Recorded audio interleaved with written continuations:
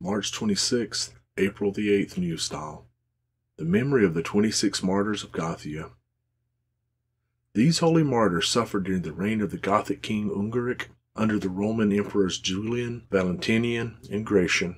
At that time, when they, being Christians, were worshipping and glorifying God in their temples, Ungeric sent his servants, who at his command set fire to the temples and burned all those found in them, numbering 308 people.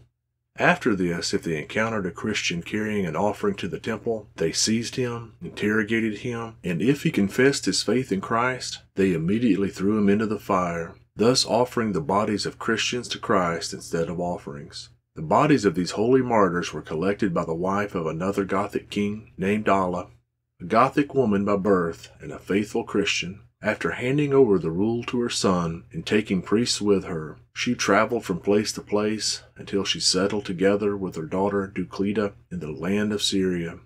After this, she summoned her son to her, and when he came, she returned with him to Gothia, and she gave the relics of the saints to her daughter, who during the reign of Valentinian and Theodosius came to Cyzicus and dedicated part of the relics in that city for the consecration of a church.